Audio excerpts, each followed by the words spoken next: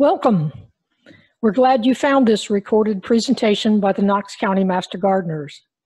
We are a volunteer community service group affiliated with the University of Tennessee, as well as Tennessee State University and their cooperative extension programs.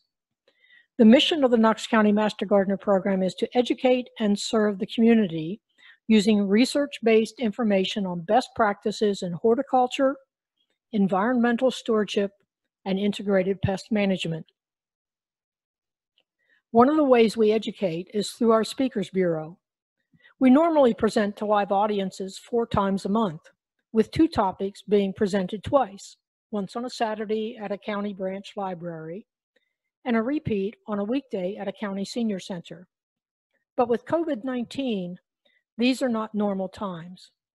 During May, all four of our regular county venues were closed, the duration of those closures is expected to be eight weeks.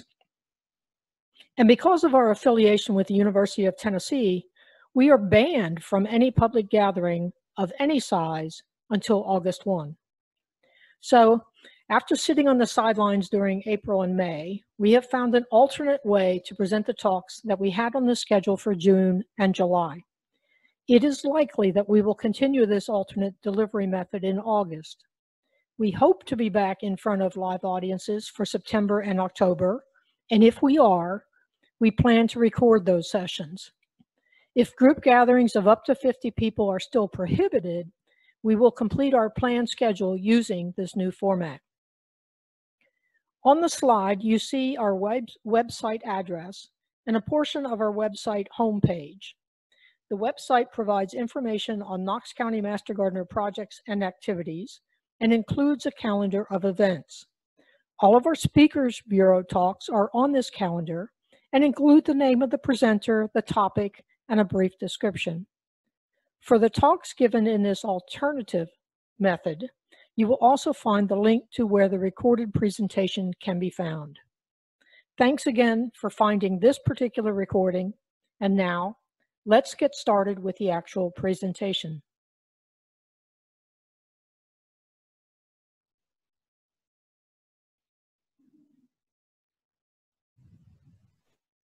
Hello, my name is Marsha Lehman, and today we'll be talking about verma composting.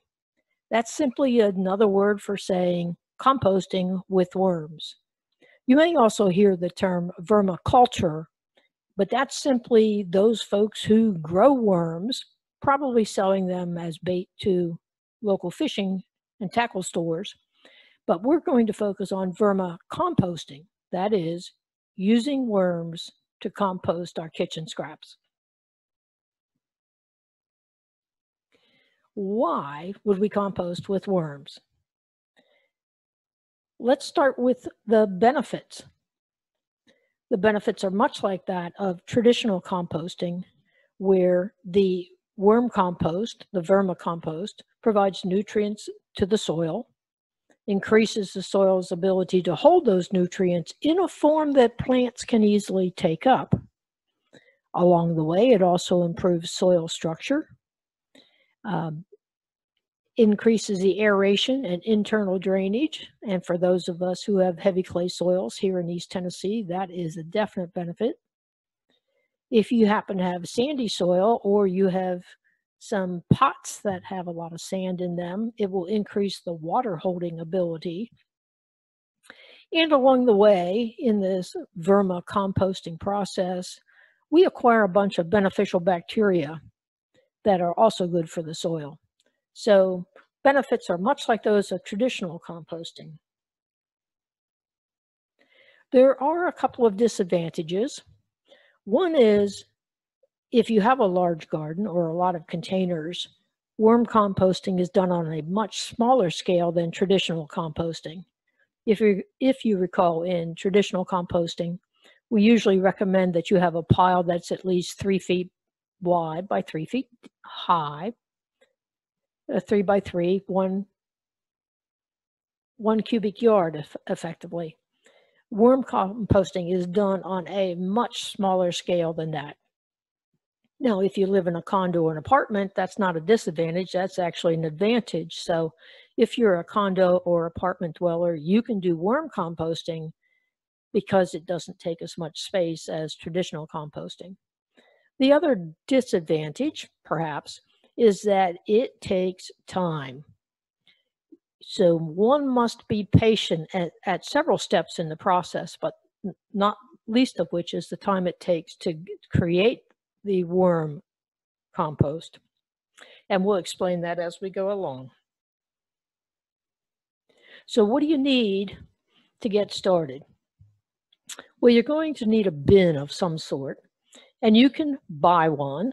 There are lots available, and I would start it on Amazon, which is where most of us probably start.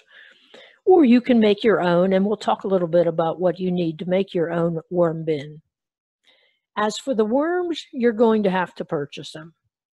That or you have to uh, learn what you're looking for and go out perhaps and forage in the forest for them. But it's just easier to purchase them the local bait shops probably have them, but in very small quantity containers. So that's probably more expensive than, than going online and finding a worm farm or starting on Amazon and find some worms to purchase. The bedding, the stuff that you put in the bins to make a happy home for these worms, you have around the house already, along with the food that you're going to add for them to eat. Um, you need a little bit of shade or basement. Worms do their job best when the temperatures are between 55 and 80. And when it gets colder than 55 or hotter than 80, you want, you want to think about them. It's not going to kill them, but just know that they will either slow down or change their behavior a bit. Um, and their preferred range is 55 to 80. And then there's that thing of it takes time and a little bit of patience. So should you do a DIY, make your own bin versus buy a worm farm or a product that's often called a worm factory? And that's what you see here on the right. You'll notice there are multiple tiers here. So there's one, two, three, four tiers to this worm farm. And this diagram shows you that you have a bottom level here that collects the leachate, which is the liquid that will accumulate. And I would advise you that if you, you can use that leachate, but be sure to dilute it before you apply it directly to plants. Anyway, moving up, the general process is you would fill this bin with bedding and food and put your worms in there. That's where you get started. When this bin is filled with kitchen scraps, then you would add the next tier, add some, a little bit of bedding and more kitchen scraps food. And then when that is full, you fill this bin and you can get these with tiers ranging from three. Uh, the unit I purchased has five and the general recommendation is not to exceed seven levels. Now, what's going on here, a bit of a sidebar, is you're probably producing more kitchen scraps faster than the worms can eat it. So that's why you need multiple tiers. So you, you fill this one, you fill this one, you fill this one, and depending on how fast you're filling those, you may, if you're lucky, have this bottom tier be about done by the time you have finished filling the top one. So you take these tiers apart, you would pull this one out, harvest it. This one then becomes the bottom. This is the second to bottom. This one's been emptied and it goes back on top. Bit of a sidebar, but that'll make a little more sense when we talk about some of the things you need to think about if you make your own bin. So let's come over here to this side while the worm factory is going to going to cost you about a hundred dollars or so, you can make your own bin for somewhere between five and twenty-five dollars, depending on the number of tiers that you put in your system. I would suggest that you need two as a minimum bins. And obviously when you buy the bin, you also buy a lid. So we're talking about the typical storage tote that you see in a big box store. The names that you might recognize would be Sterilite or Rubbermaid. Um, recommendation is no smaller than a 10 gallon bin, but don't go larger than a 20 gallon bin. Because if you go larger than a 20 gallon bin, you will end up with something that's way too heavy to lift. So you need at least two bins and lids to get started. They need to be colored because earthworms do not like the sun. Don't buy any of the clear or opaque bins that you may see usually advertised for storing gift wrapping paper and, and ribbons and so, that type of supply. You want a colored bin, and I would just say the dark gray or black is your best option.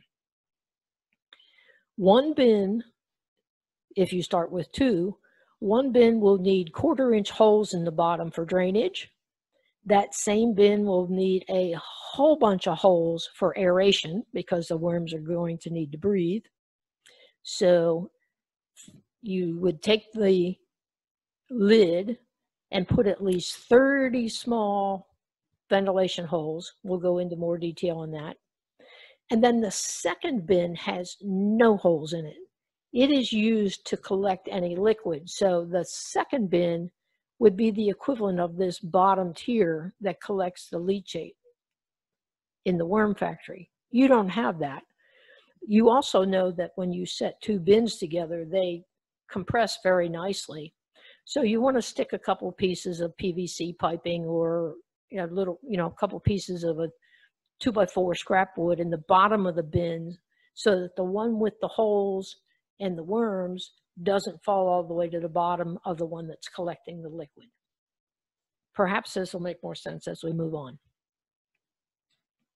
So here we go. Those quarter inch holes in the bottom of the bin, this, this looks like it's a square container most of the containers I've seen are actually rectangular. So I would take and drill five holes across and 10 holes down in a row, all a quarter of an inch. Those are drain holes, but they are also used if you go more than two bins and start stacking them up. Those are the holes that the worms will crawl through to move from one tier up into the next tier. So again, back with assuming that you've got two bins all of the holes are in the top bin, no holes in the bottom bin.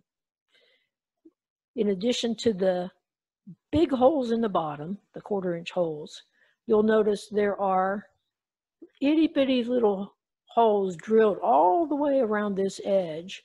Those are 1 8 inch holes around the top edge. And then what you can't see is there are additional holes in the lid. And again, these are the 1 8 inch holes. They are to provide air to the earthworms. Okay, so here's a, a situation where they've got two bins, and I can tell by the way they're stacked that this has food and bedding in it, this has food and bedding in it, and they don't have a place to collect the leachate.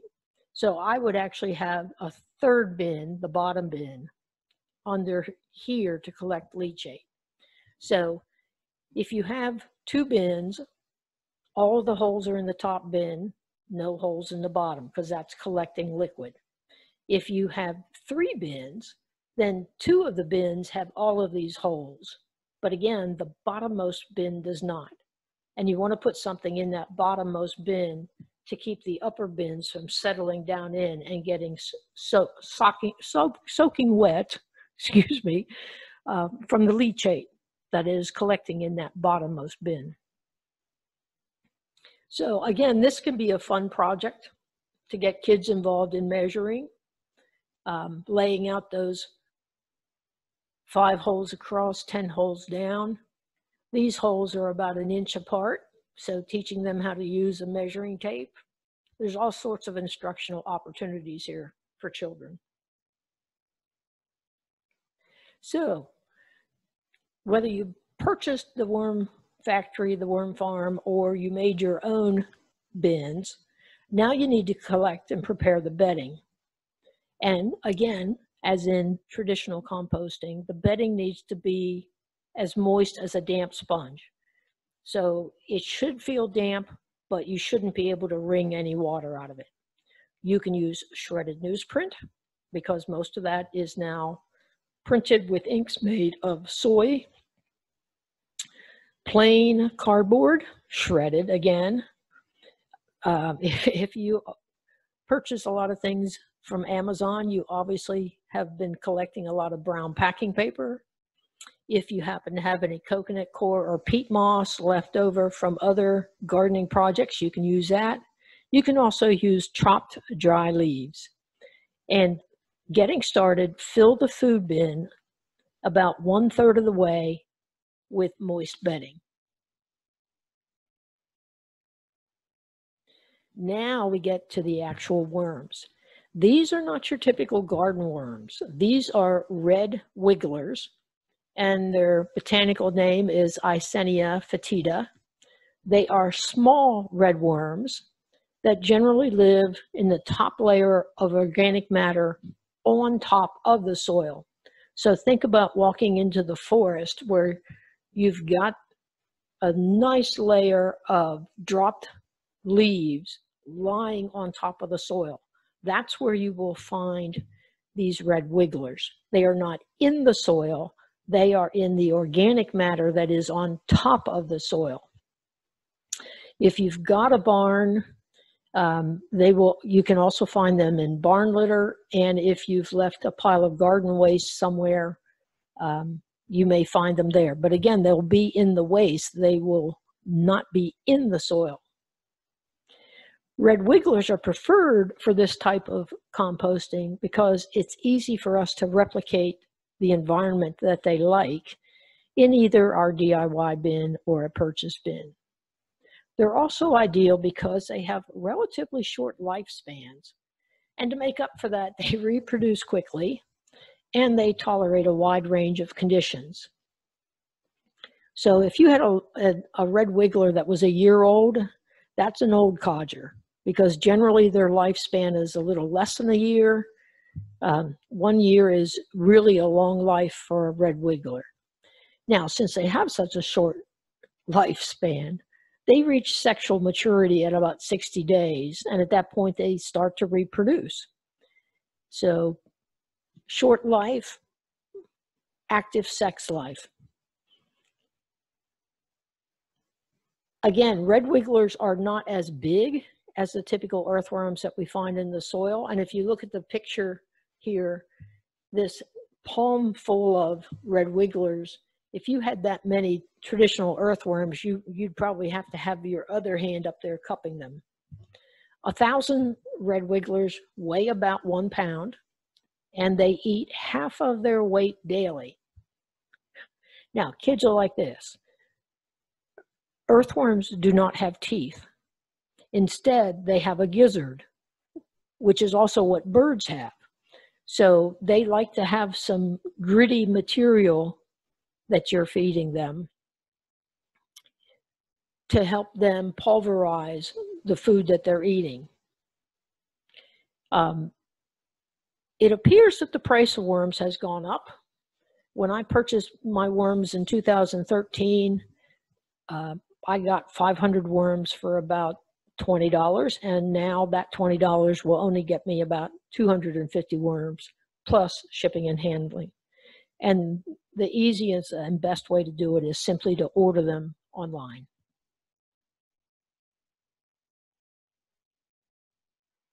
So here we go.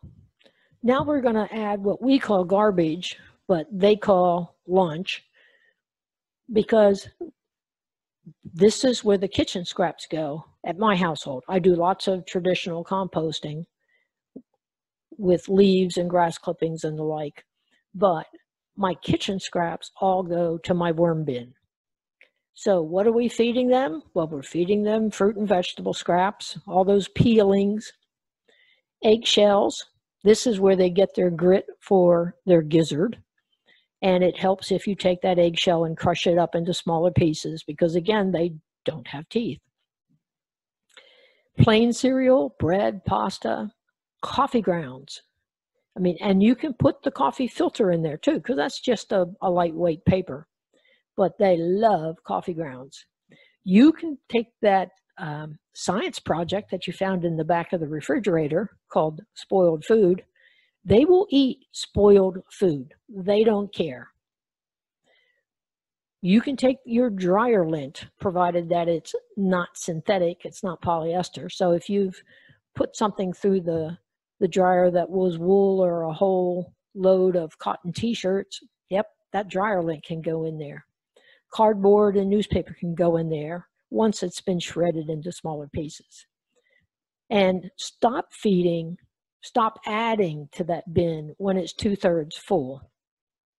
And part of that is just once it's two thirds full, that bin is really pretty heavy. On the right side, we see the things not to feed them. But not putting these things in your worm composting bin is not always because they don't like it, but for the same reason that we don't put some of these things in our traditional composting.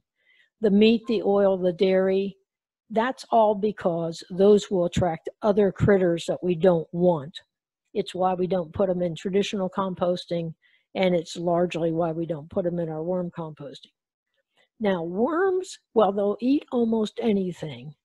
They don't like large amounts of onion and they don't like acidic foods. So, you know, don't throw that lemon or lime peel into your worm bin. And again, no pet feces.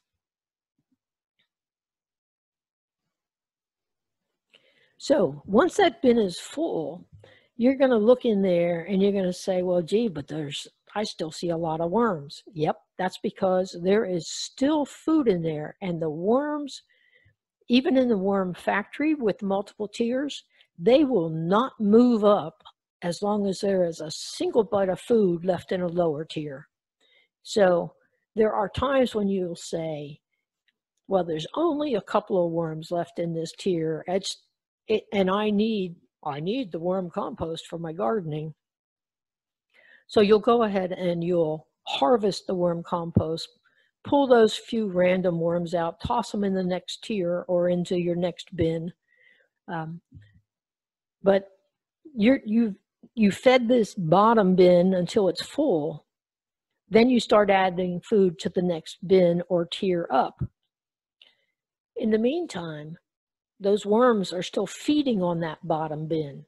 And so it may take three months from the time that you stopped putting something in that bottom bin until you're actually ready to harvest it, that there's no food or bedding left in there because they eat the food you put in there, those kitchen scraps, and they eat the bedding.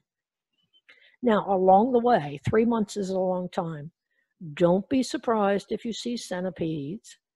Don't be surprised if you see soldier flies and soldier fly larvae. Those are actually some good guys. But if you were thinking that the only thing that's going to be in your worm bin is worms, well, no, be prepared to see a few other critters, but most of them are good.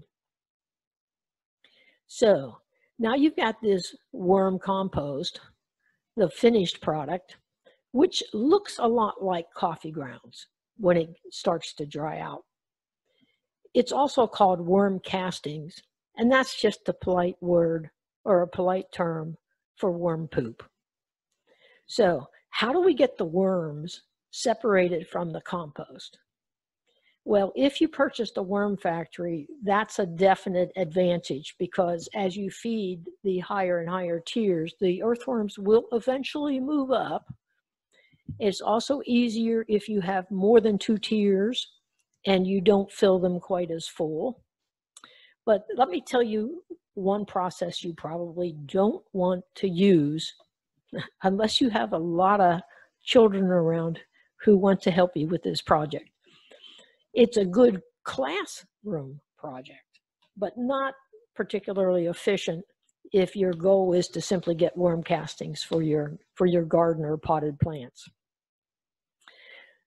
The most basic thing you can do is take a bin or a tier that is finished get a tarp, lay it out in the sunshine, and dump that bin or that tier onto the tarp. earthworms do not like sunlight. So the first thing they will do is head down into the pile. If there were any worms on the surface of that pile that you dumped out, they're going to burrow down in.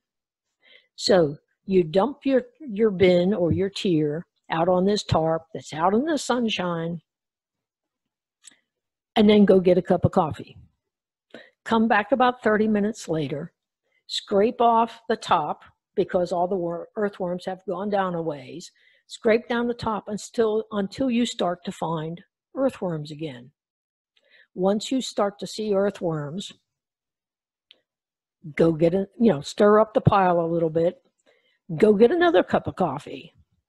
Come back in about 30 minutes. The worms will have gone south again.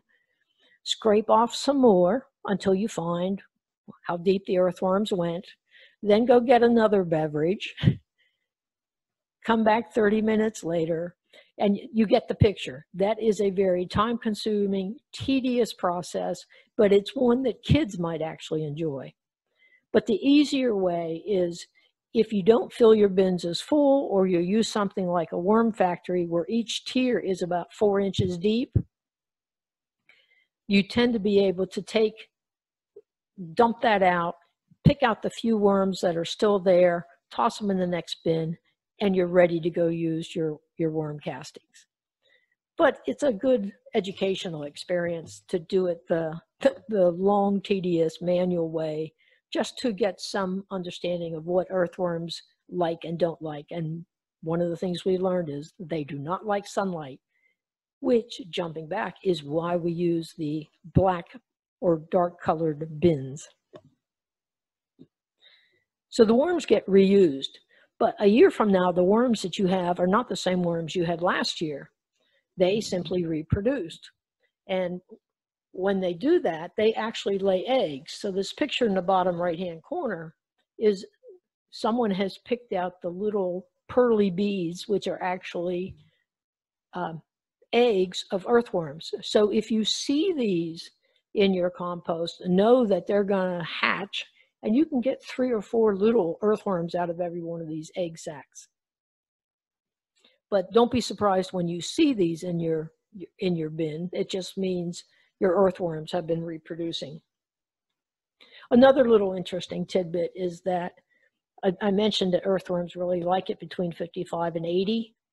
So in the wintertime, they slow down a bit. For me, that's about Thanksgiving time. And so I, I actually stopped putting food in the bins during the middle of winter. And instead, I take bagged leaves and pile it all around my worm bin to insulate it. And if the worms really think they're going to die of the cold, the first thing they do is lay eggs. And the egg is not susceptible to freezing. So the egg will lay there all during the winter. And when it warms up in the spring, then it will hatch and you're off and running again with a new batch of worms. So I've had my same worms or my same worm bin since 2013. I have never had to buy additional worms. And at the same time, I've been able to give worms to other people to start their worm bins and so the the worms are kind of self-regulating in their population if they're if they get too crowded then they don't reproduce as much and if their population declines well then they get busy lay eggs and make some more worms so the worms you think you have the same worms but no their lifespan is about a year but they keep reproducing and they self-regulate their population so what are we going to do with this worm compost or this these worm castings? Why did we go through all this? Well, we did it to get some really good stuff. Worm castings are a great soil amendment. They're the ultimate in slow release fertilizer. And compared to ordinary soil, they have five times more nitrogen, seven times more phosphorus, and 11 times more potassium. So if you are making up a potting mix for a container, you can use one part of worm compost to three or four parts of your potting mix. Um, you can also use your worm castings to brew compost tea and then apply as a soil drench or use it to water your plants and give them that, uh, that additional nitrogen, phosphorus, and potassium for those bigger blooms and stronger, healthier plants. So let's just wrap up here a bit. Worm composting is small scale compared to traditional composting. It can be a fun project for children and for adults. If you're not sure you really want to invest a hundred plus dollars in a commercially available worm factory, then try the, the do-it-yourself bins. The, the, they make a good test run and they're another good project to get children involved in making the actual bin. Um, worm composting follows many of the same guidelines as traditional composting with the no meat, dairy, and fat. Worms will eat almost anything, but they don't like spicy or tart. During their happy season of 55 to 80 degrees, they will eat half their weight daily. They do slow down in the winter time, They'll eat less and lay eggs, which will then hatch in the spring when it warms up. The worm castings are great amendments for your potted plants. Compost tea made with worm casting can be applied as a soil drench. And that, that fun little tidbit that worms have a gizzard. So if we've piqued your interest, there are a few books available in the library. The first one here, Worms Eat My Garbage, is actually a book written for children, but it's an easy read for adults and goes through all the basic steps of how to get it set up, how to maintain it, how to diagnose what's going wrong, if things go wrong. Um, a couple other books here also available in the library. And then if you are doing some internet searches, the folks at Clemson their extension service has a, a really good article on worm composting. Washington State University has a good one on composting with red worms, which is what they call red wigglers. And so does the University of Nebraska at Lincoln. So I'll leave these up on the, on, for you to, to take a screen grab or to jot down a few notes.